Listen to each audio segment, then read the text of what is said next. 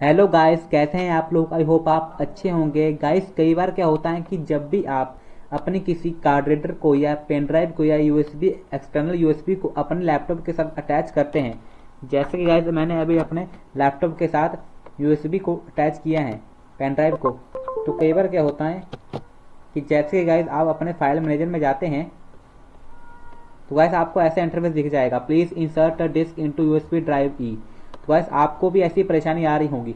बस ये जानने के लिए कि ऐसा क्यों होता है गाइस वीडियो को पूरा दिखेगा और एक भी स्टेप मिस मत कीजिएगा। और गाइस हाँ यदि आपने मेरे चैनल को सब्सक्राइब नहीं किया है तो मेरे चैनल को सब्सक्राइब कर लीजिएगा ताकि आपको ऐसी वीडियोस की नोटिफिकेशन रहे। तो गाइस अब जानते हैं कि ऐसा क्यों होता है। जैसे कि गाइस जब मैं गाइस अपनी पेन ड्राइव में जाता हूँ, जैसे कि गाइस ये मेरी पेन ड्राइव है। ये मैंने अटैच की हुई है, एक मिनट, ये सॉरी ये यूएसबी ड्राइव ई यहाँ पर गाइस ना तो गाइस कोई स्पेस आ रहा है कि कितने जीबी यह खाली है या कितने जीबी स्पेस बचा हुआ है। गाइस जब मैं इसको फॉर्मेट करता हूँ तो गाइस ये फॉर्मेट कर, करके गाइस यहाँ पर गाइस फॉर्मेट का ऑप्शन आ जाता है। पर गाइस ये देखिए यहाँ पर गाइस अनक्राउंड कैपेसिटी बता रहा है। गाइस इसको मैं जब स्टार्ट करता हूँ फॉर्मेट को तो गाइस वार्निंग आने के बाद गाइस जब मैं ओके करता हूँ तो गाइस ये देखिए यहाँ पर आ गया है window was unable to complete the format guys आपको भी ऐसी ही प्रॉब्लम आ रही होगी। तो गाइस ऐसा क्या होता है? अब जानते हैं। गाइस सबसे पहले आपने करना है कि जब भी यह प्रॉब्लम आए आपको तो आपने करना है कि अपनी जो भी आपकी पेन ड्राइव है उसको पहले अटैच कर लेना है। जिस पेन ड्राइव में ऐसा ऐसा शो कर रहा है या ऐसी प्रॉब्लम आ रही है। उसके बाद गाइस आपने करना है कि विंडो प्लस आर दबाना है। एक मिनट सॉरी सर इसके बाद गाइस आप, आपने करना है कि विंडो विंडो दबाना है। गाइस यहाँ पर टाइप करना है। कंप्यूटर मैनेजमेंट तो गाइस यहाँ पर गाइस आपने कंप्यूटर मैनेजमेंट टाइप करने के बाद गाइस उसके बाद गाइस आपने इसको ओपन कर लेना है। तो गाइस कुछ टाइम लेगा।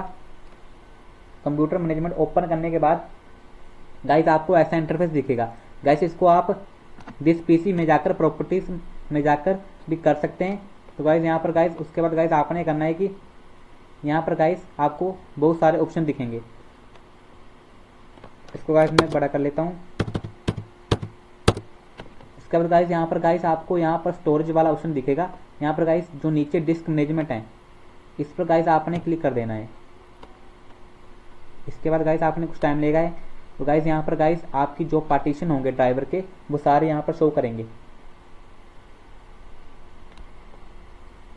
ये देखिए गाइस गाइस यहाँ पर जो ये पार्टीशन दिखाए जा रहे हैं तो गाइस यहाँ पर गाइस बताया जा रहा है। यहाँ पर गाइस डिस्क ज़ीरो में कितने जीबी डाटा पड़ा है गाइस यहाँ पर गाइस आपने जो भी पेन ड्राइव जो भी यूएसबी ड्राइव या कोई भी कार्ड रीडर लगाया होगा या एक्सटर्नल यूएसबी लगाई होगी तो गाइस यहाँ पर वो शो करेगी। जैसे गाइस यहाँ पर शो कर रही है अट्ठाईस जीबी जो मेरी पेन ड्राइव लगाई हुई है। गाइस यहाँ ये ये अन एलोकेटेड बता रहा है। ये देखिएगा इस अनएलोकेटेड तो गाइस यहाँ पर यहाँ पर जाने गाइस आपने कर्सर को यहाँ लाना है। गाइस इस पर क्लिक करना है। उसके बाद गाइस आपने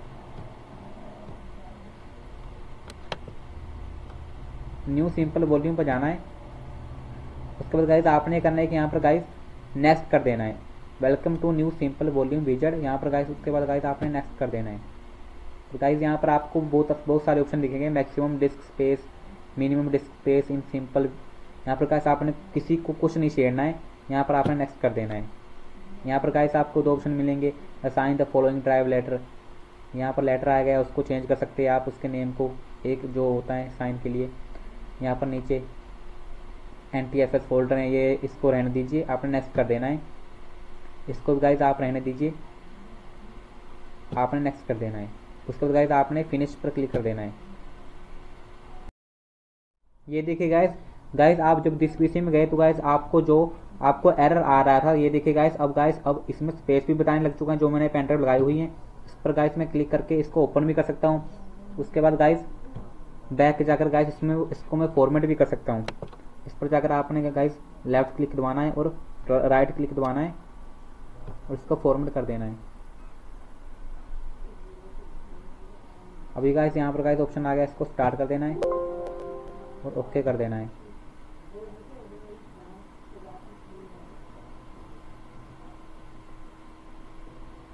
ये देखिए गाइस अब गाइस ये फॉर्मेट हो चुका है। गाइस इस तरीके से अपनी जो आपकी प्रॉब्लम है, उसको सॉल्व कर सकते हैं। तो गाइस कैसे लगे वीडियो कमेंट में बताना और ऐसी वीडियोस को देखने के लिए हमारे चैनल को फॉलो कर लेना और सब्सक्राइब कर लेना। Thank you